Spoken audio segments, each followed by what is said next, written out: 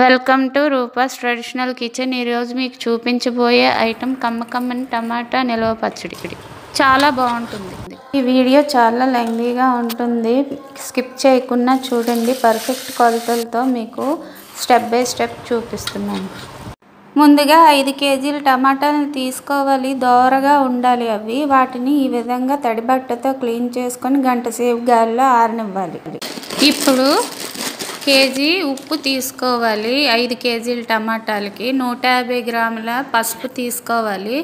ఐదు కేజీలు పట్టిన జాడీలో ఇలాగా లేయర్స్ లేయర్స్గా పసుపు ఉప్పు మొదట వేసుకొని ఇలా టమాటా నాలుగు ముక్కలుగా చేసుకొని పెద్దవైతే నాలుగు ముక్కలు చిన్న టమాటా అయితే సకానికి కోసుకొని వేసుకోవచ్చు. ఇలా వేసుకున్న తర్వాత మళ్ళీ కొంచెం ఉప్పు కొంచెం పసుపు ఇలా లేయర్స్ లేయర్స్గా వేసుకోవాలండి. ఇలా వేసుకోవటం మూలన టమాటా చక్కగా ఊట దిగుతుంది టమాటాకి. అంతేకాకుండా ఈ టమాటా ముక్కలు ఊరడానికి మూ మూడు రోజులు టైం పడుతుంది కదా ఇవి చెడిపోకుండా ఈ ట ఉప్పు పసుపు చాలా వరకు ప్రొటెక్షన్ ఇస్తుంది. ఇలా మూడు రోజుల పాటు అన్నీ వేసుకొని ఊరబెట్టుకోవాలి. ఇదిగోండి మూడు రోజులైంది. మన జాడీలో ఊట ముక్కలు ఎలా ఉన్నాయో చూపిస్తున్నాను. ఒక పళ్ళంలో ఈ ఊటని ముక్కల్ని వేసుకొని శుభ్రంగా చేతులు తుడుచుకోవాలండి. చాలా డ్రైగా ఉండాలి చేతులు. ఇప్పుడు ఆ ముక్కల్ని ఊట్లో నుంచి పిండుకోవాలన్నమాట. పిండుకొని ఈ విధంగా ఒక గిన్నెలో వేసుకొని ఈ మొత్తం ముక్కలన్నింటినీ పల్చగా ఒక ప్లాస్టిక్ షీట్ మీద ఎండలో మూడు రోజుల పాటు ఎండ పెట్టుకోవాలి. వీటితో పాటు ఊట వస్తుంది కదా ఇది కూడా ఈ మిశ్రమం కూడా ఎండలో ఎండ పెట్టుకోవాలి. ఒక కేజీ చింతపండుని కూడా ఒక రోజు ముందు ఎండలో ఎండ పెట్టుకొని ఉంచుకోవాలి. మూడు రోజులు అయిందండి ఊట చిక్కబడింది. ఈ ఎండ పెట్టుకున్న చింతపండు ఈ ఊటలో వేసుకొని ఒక నైట్ అంతా సోక్ చేసుకుంటే మనం రుబ్బుకున్నప్పుడు బాగుంటుంది అనమాట వేరే నలిగిపోతుంది గ్రైండర్లో. టమాటా ముక్కలు కూడా ఎండిపోయాయి. ఇలా ఉండాలి. అంటే ఈ టమాటాలు ఎయిటీ పర్సెంట్ ఎండితే సరిపోతుంది. కొంచెం మాయిశ్చర్ ఉంటే బాగుంటుంది.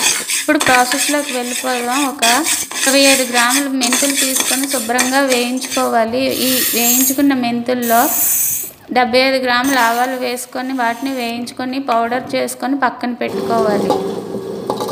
ఒక రెండు గుప్పెళ్ళు టమాటా ముక్కలను పక్కన పెట్టుకోవాలి. ఈ ఈ ఎండిన టమాటా ముక్కలను రెండు భాగాలుగా చేసుకొని గ్రైండర్లో ఒక భాగాన్ని వేసుకోవాలి. వేసుకున్న తర్వాత ముందుగా ప్రిపేర్ చేసి పెట్టుకున్న పూట చింతపండు మిశ్రమాన్ని కూడా సమాన భాగాలుగా చేసుకొని వేసుకోవాలి. వేసుకున్న తర్వాత అది బాగా పేస్ట్లో నలిగిన తర్వాత అర కేజీ కారాన్ని తీసుకొని పావు కేజీ కారాన్ని వేసుకోవాలి. వేసుకున్న తర్వాత ముందుగా వేయించి పెట్టుకున్న మెంతులు ఆవాల మిశ్రమాన్ని కూడా గ్రైండర్లో వేసి గ్రైండ్ చేసుకొని ఆ మిశ్రమాన్ని పక్కన పళ్ళల్లో వేసి పెట్టుకోవాలి. ఇలా ముద్ద తయారైంది కదా దీన్ని పక్కన పెట్టుకుందాం. పెట్టుకున్న తర్వాత మూడు వందల గ్రాముల వెల్లుల్లిపాయలు ఎండలో పెట్టుకొని ఈ విధంగా రెబ్బలుగా చేసుకొని శుభ్రంగా కచ్చా పచ్చాగా దంచుకొని పక్కన పెట్టుకోవాలి.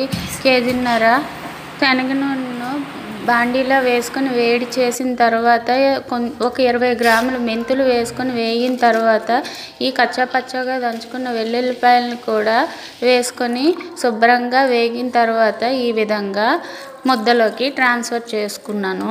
చేసుకొని ఈ ఆయిల్ చల్లబడిన తర్వాతే వేయాలండి. ఇలా వేసుకున్న దాన్ని శుభ్రంగా కలుపుకున్నాను. కలుపుకొని కనిపెట్టాను రెండు కేజీల ఆయిల్కి కేజీన్నర వేసుకున్నాము. ఈ టమాటా ముక్కలు కూడా వేసుకున్నాము. డెబ్బై ఐదు గ్రాముల శనగపప్పు ఐదు గ్రాములు మినప్పప్పు యాభై గ్రాముల ఆవాలు గ్రాముల మెంతులు కొంచెం ఇంగువ ఎండుమిరపకాయలు ఒక వెల్లుల్లిపాయ రెబ్బలు చిడక్కొట్టుకునేవి కరివేపాకు కొంచెం వేసుకొని శుభ్రంగా అర కేజీ శనగ నూనెలో వేయించుకొని ఈ విధంగా పోపు వేసుకొని కలుపుకోవాలి అంతే ఈ పచ్చడి అప్పటికప్పుడు వేడి అన్నంలో కలుపుకొని తింటే చాలా బాగుంటుంది. ఒకసారి మీరు ట్రై చేయండి. వీడియో కానీ మీకు నచ్చినట్లయితే like share and comments and subscribe. Thank you.